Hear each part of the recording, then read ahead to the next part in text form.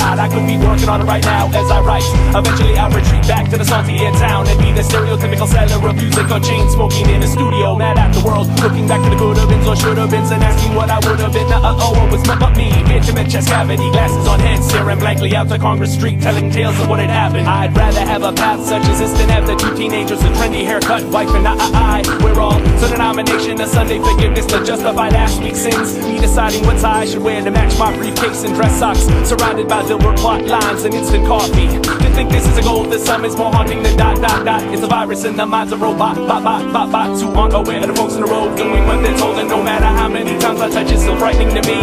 Just imagine a life of looking forward to that Disneyland vacation And that obedient golden retriever. Let's all hop in a midlife crisis car and drive after forgetting perfect life. Perfect kids, perfect husband and wife. So it's fitting that an imperfect person is sitting and happy Without the would have beens, or could have beens, or should have beens